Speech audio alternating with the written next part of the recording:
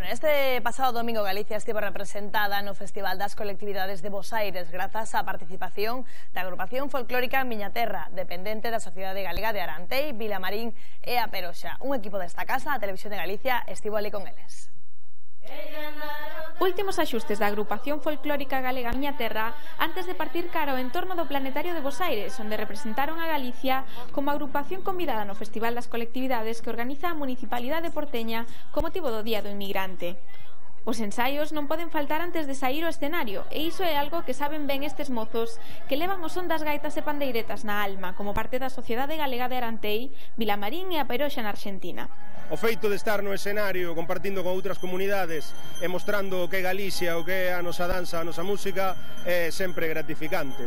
Hora de poñer toda a carne no asador e sorprender o público a ritmo de muiñeira, aínda que aseguran que a acollida sempre é boa. La recepción da xente é eh, moi boa porque a cultura galega é moi alegre, entonces son, ten a sensación de que están máis cerca da propia familia. Coa tranquilidade do traballo ben feito, esta agrupación xa pode desfrutar dos demais atractivos do encontro. O Festival das Colectividades de Bos Aires foi un éxito de convocatoria. Centos de persoas aglutináronse en torno planetario para desfrutar do espectáculo das 50 agrupacións participantes. A xornada rematou disfrutando do eclipse lunar.